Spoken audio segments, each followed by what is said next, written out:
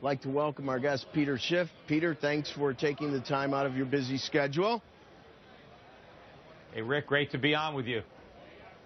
All right, you know, in uh, my tease for this piece, I said, you know, what's going to have a longer shelf life, QE or a Twinkie? What's your answer? well, eventually QE is going to come to an end. Uh, not, but, not because Ben Bernanke uh, wants to end it, but because the markets finally leave him no choice.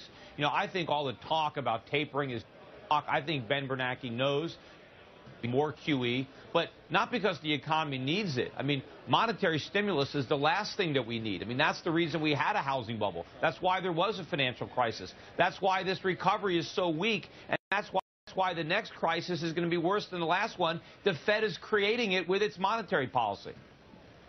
Now, many have used the analogy that what's going on with Ben Bernanke versus the market in, in a sort of fashion resembles the Bank of England's issues with George Soros when George Soros challenged eh, and, and via his trading of the British pound. Do you think that analogy works?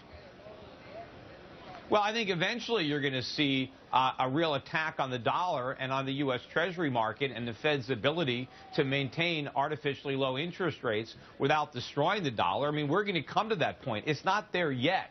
And I think one of the reasons that Ben Bernanke had to do some damage control uh, as far as talking back uh, tightening is because he's already uh, very nervous about the reaction that he didn't anticipate in the bond market and how it's going to affect mortgage rates and the, the, the, housing bubble that he's trying to reflate.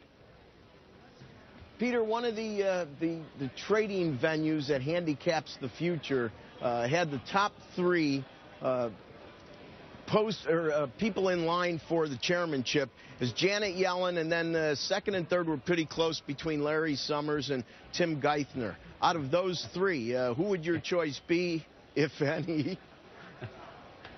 I don't know. Look, the good news is Ben Bernanke is leaving. The bad news is one of those three is going to replace him. Uh, you know, I don't know. I, I, I, I, I suppose whoever uh, they end up going with will probably be the worst. Uh, but you know, you don't really have, you don't really leave me any good choices there. So I don't even know how to answer that question. If you were trading you know, 10-year notes right now, worse.